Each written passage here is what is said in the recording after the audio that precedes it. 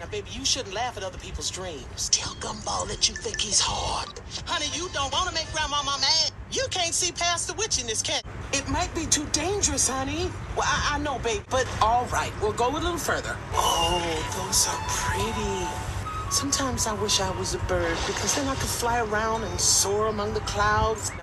Now, baby, you shouldn't laugh at other people's dreams. That's okay, honey. You know if I don't get my beauty sleep, I get those nasty barnacles under my eyes. Now, what is it, child? Ooh, you have done it now. Grandmama's gonna give you a whooping for that. Child, sure you can. No sense? Then whack! That boy couldn't sit down for a week.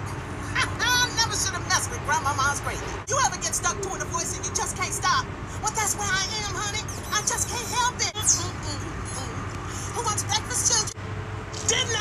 you not to come back. You need to apologize. You know where I stand. Morning, baby. He's gone, baby. No, baby, he's not coming back. Not this time. Not ever again. I mean, he's not gonna live here anymore. He's